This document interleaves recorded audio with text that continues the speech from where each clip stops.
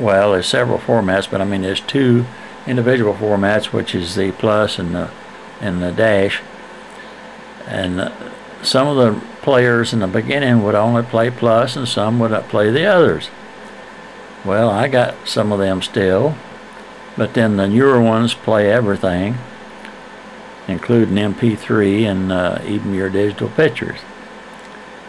But there's another thing that I found over the years as I work with them DVDs. It's not just the players, it's the DVDs themselves. Uh, some DVDs won't work on some recorders and uh, I look I noticed that in my manual I sent one DVD recorder I got back because it messed up four DVDs I sent it back so it didn't work well I bought another one here I don't know, a year after that or so, and uh, I was happened to be reading the manual there, and it said uh, the only DVDs that would be guaranteed to be compatible would be, and it named about four brands. And some of them data and different brands, they wouldn't work. They didn't guarantee them to work, and they didn't work. I tried one or two of them just to see, and sure enough, they didn't work. And if you use the ones that they asked you to use, they work fine.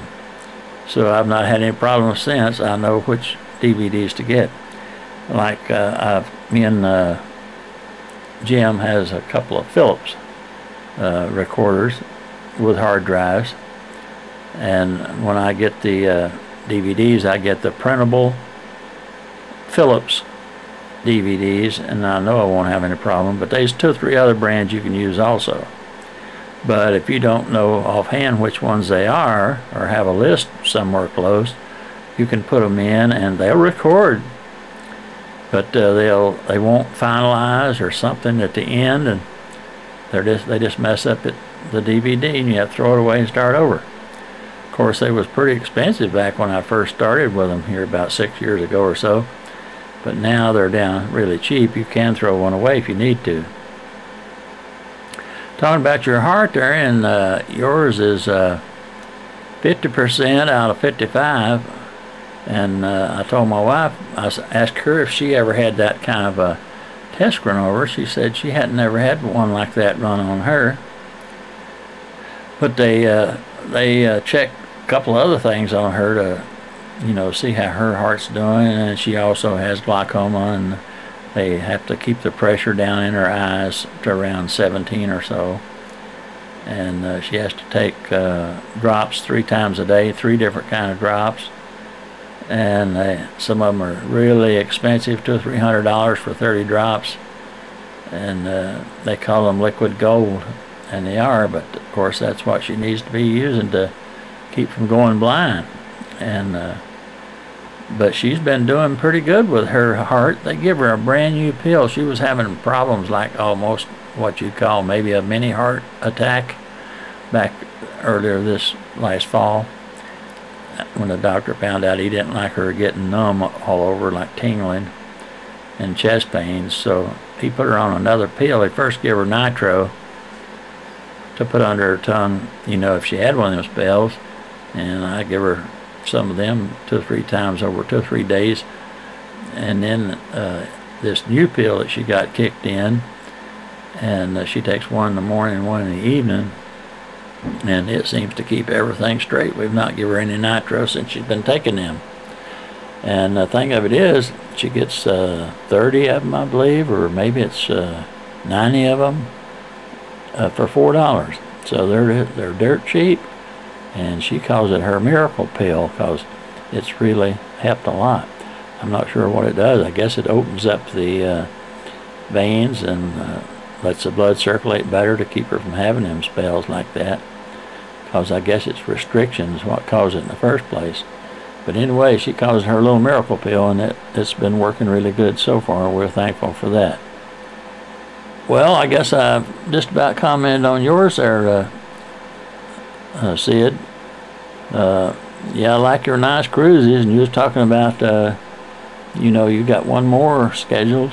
Well, you did. I guess that's gone now, but because it's all ready after the first of the year. It's, it's uh, 2010 now.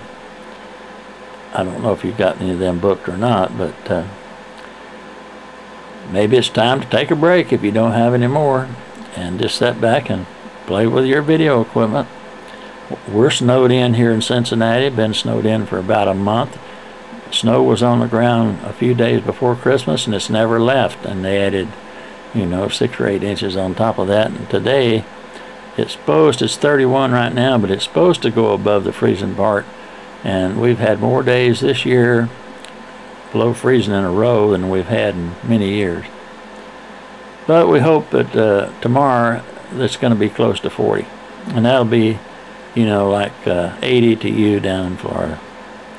We'll be out just a whippity cutting when it gets up to 40. Well, till next time, uh, Sid, keep up the good work, and I'll talk to you later. Well, hello, John. Good to see you back on the round robin with some video. And I'll have to try a little later and see if I can get your uh, other one to play. I got the uh, comment uh, video to play. Worked fine. You just commenting there on uh, how much people made per hour back a long time ago. Dollar an hour, and I think you said a dollar twenty-eight you started, and I started a dollar twenty-seven at Keebler in 1953. Worked it up to 12.50 when I retired 27 years ago. And now it's 24.50, almost double. And uh, but way back there in 1940, 41, in 1941 I was working on a farm hoeing corn for five cents an hour. I worked 100 hours, got five dollars. Went to town on Saturday and spent all of it. Bought me a Big Ben watch for $1.98. My dad one for $1.98. Bought me a harmonica for 50 cents and spent the rest of it on pop and candy and stuff. Worked all that long time for and spent it so quick. That was hard come and easy go instead of the other way around.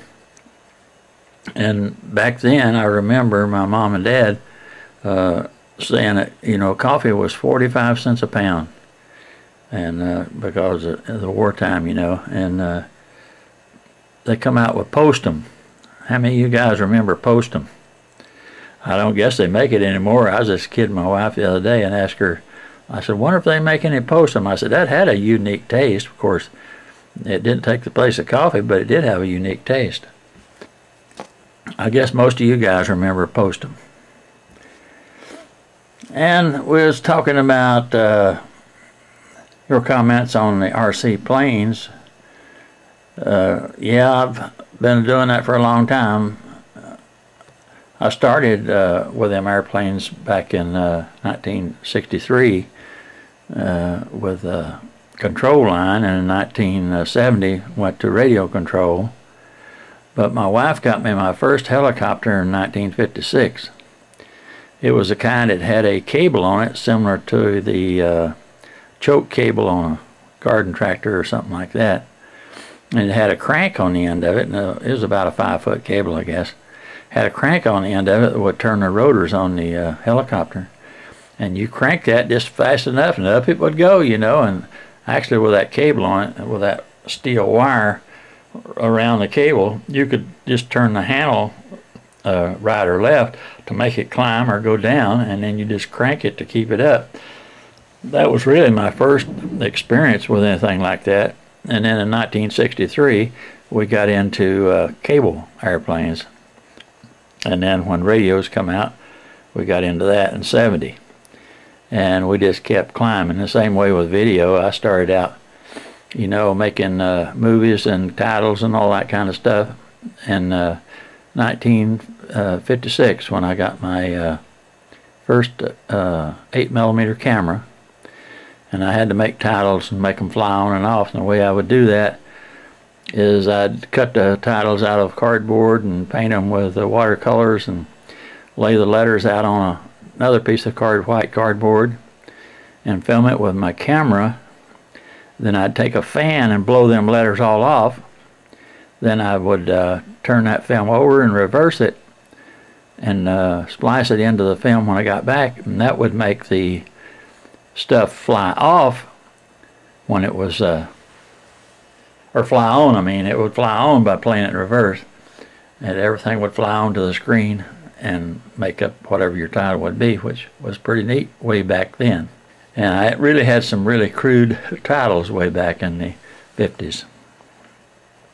But we've all uh, kind of advanced from that now and went through uh, eight track tapes and cassettes and eight millimeter and then we went to VHS and beta and super VHS and digital and now high def and they just gonna keep going. They've got working on the next one after high def now. So I guess it will never end. They'll uh, even when they get a picture that is perfect like looking at your hand they'll still want to do something to it and make us pay to get a little bit of upgrade. But I've got I need a new computer now but I've got three and they all work fine and I just hate to throw one of them away to put a new one in but I would like to have another one uh, I already have high definition software that I can uh, edit high definition but until we get a uh, Blu-ray recorder, uh, we're not going to get anything that's uh, true high definition and be able to edit it. The only thing we can do now is use the HDMI wire out of our camera to a uh, high def uh, high def TV, and then we get true high def from our camera. But it's not edited, and uh, well, I know Jim's first uh, high def camera. Boy, you couldn't do nothing with it. You couldn't pan. You couldn't do no kind of editing. Now you can, I guess, with these uh, ones that's on uh, DVDs. I don't have one, but if you had one with DVDs, I know our DVD recorders do this, so I don't see why you couldn't cut out a piece. The newest DVD recorder I got has uh, a feature where you can cut out a piece of video, like if you shot the ground accidentally or something and then it'll put it back together and it's seamless when you play it back. So you can do all that in the hard drive on the uh, newest uh, DVD recorders. And uh, also men uh, mentioned to Jim here the other day that uh, they quit making uh, recorders now with hard drives. You can't get them anymore. I have three, and I think Jim has three. And I just bought one about a month ago and I was going to get another one, but when I tried to get it, well, I found out they don't make them anymore. Uh, I called uh, B&H, and uh, they said the only thing they have is a foreign brand. It uh, works overseas. It don't work here. And you have to buy an expensive converter if you wanted to use it here. And so I guess uh, there wasn't enough. Uh, I guess they didn't them enough to, you know, really keep making them. So that's why they probably quit. But boy, I think they're the trick with a hole in it. I think I like really like them. You can uh, edit with them inside the uh, recorder and take out pieces and stuff like that, and then join them back together. And uh, you can do pretty good editing just with the DVD uh, recorder itself. And uh, I have uh, two Philips and one Pioneer, and I think Jim got on the internet and uh, got him another uh, Pioneer. He needed another one, and they are they are nice, but they don't make them anymore. The th good thing about the Pioneer, the video uh, FireWire is in and out. You can send the uh, signal out to your computer or anywhere you want to. So I, when I play a DVD in my uh, Pioneer, I can send it right to the hard drive on my computer and edit it and make another DVD. So that's the good part about it and uh, then they quit doing that. Now you just have uh, the firewire in, it's not out. So that's the way my other two are. And uh, so I, I, really take care of this one. I don't want to, I just use it mostly for playing DVDs out to my computer. And uh, I don't use it much for making DVDs because uh, I don't want to be wearing it out since you can't buy any more of them. Now, and uh, with my newest uh, one that I just have, uh, it's a, a, combination. It's a VHS and a hard drive and a DVD recorder. And it's a six-way copy. You can copy from tape to DVD, from DVD to tape, from DVD to hard drive, from hard drive to tape, or from hard drive to DVD. Six ways you can go for that. And it's a $300 machine, which uh, I got from uh, Heartland America. They sell uh, they sell things that's been sent back, it didn't work, and then they fix them, and they're factory new and guaranteed. Sell them for half price. I got it for $149.95. So, and I was going to go get me another one, but uh, they sold out of them. And then when I called uh, B&H, they don't make them anymore. That's why. So that's the end of the hard drives, I guess. So we'll have to find another way to get around this stuff. Maybe a new computer. I don't know why Jim didn't step on up to that 3000 or 3300 or something like that. One that has uh, all the high def stuff that Sony has. That's the one I'd like to have, but I really don't have enough uh, high def stuff to step into that yet. I've got four or five tapes of high def uh, footage, but you'd need more than that to, you know, step up to three thousand dollars for something that you could uh, uh, edit and make uh, Blu-rays and things like that with. Well, John, I guess I covered about everything. So, till next time, I'll talk to you on the round robin. Well, Greg, I just got done watching your segment. You wasn't sure what it was that Terry had. He had both knees fixed. It took about a year, a little better for him to get them both fixed and uh, go through rehab. And uh, then he called me and wanted to get him an airplane. And you was uh, commenting on uh, me being a master builder. Uh, my friend Gene, I'm not sure if you met him. He's another Gene in our club.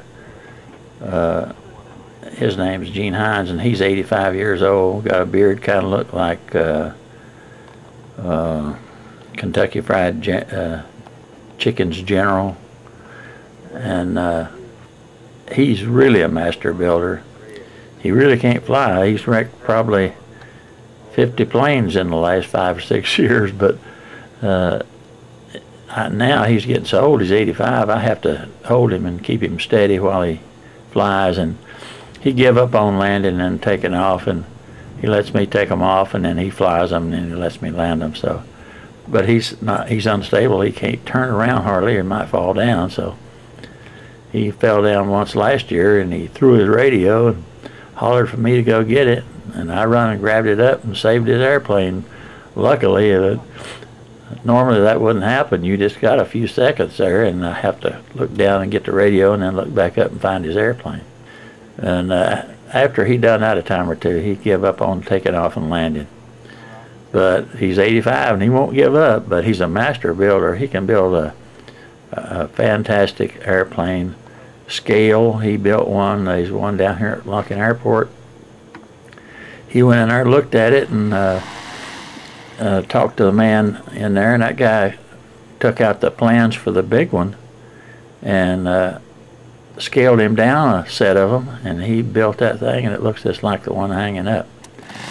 And then he built uh, Antic, which is an old airplane from way back there, shortly after the 1900s. Well, shortly after the Wright brothers models is one with a cross uh, beam stick rear end, which is hollow, and uh, he built that, and it was just like the real thing.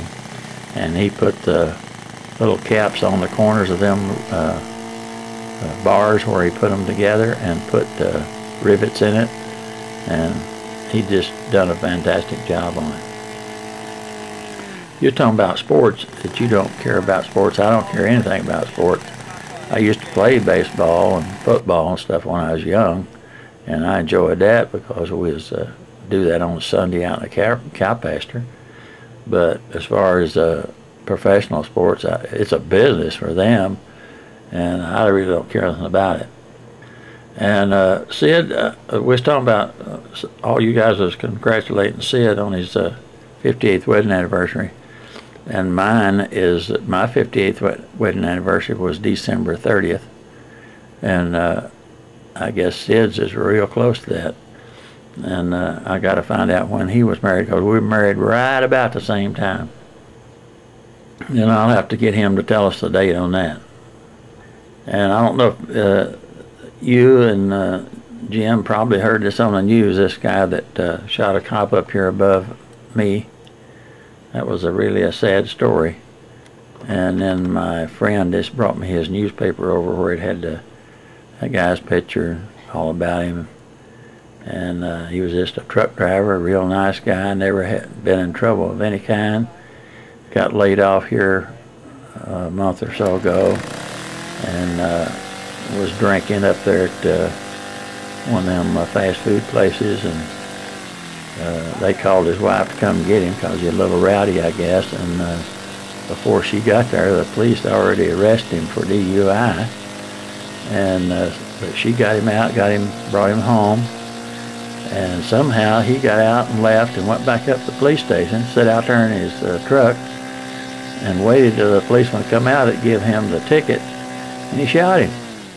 But the policeman had on a bulletproof vest, so he just shot him in the back and the shoulder, and it didn't go through the vest naturally, but he yelled over his radio for help, and uh, he returned fire, and one of the other policemen come out of the uh, building there and uh, returned fire, and they killed this guy. And it's it, and his wife said that really wasn't him. He was just depressed over losing his job, and the reason that he went back up there to shoot that policeman, it, he thought he was uh, going to lose his uh, CDL uh, license, so he wouldn't be able to drive anymore when he did get another job. And uh, that's just a sad story. And again, we're still praying for your daughter and praying that she don't go completely deaf. And I believe you said now that she's uh, just about completely deaf in one ear, her left ear, right ear, I believe it was. But she can still hear out of the other one. And then it also affects her eyes. And we're praying that uh, she never goes completely deaf that would be really hard, but going blind would be much harder. But people that are blind are so sensitive to everything. Uh, I've heard some of them say that they wouldn't get their eyesight back if they had a chance, which I can't understand that, but I guess they do. Well, I guess it's about time for us to get together and go back and eat again. We hadn't saw each other in a couple of months, I guess. And uh, I was over at uh, your side of town so I guess when the weather breaks and uh, it ain't too bad, why you and Jim can come over and we'll go out again and see if we can get a hold of Bob. And I hadn't talked to her in about, I guess, a month. And he's holding his own about the same. So I guess till next time, I'll see you over here for dinner probably. And after that, maybe the round robin.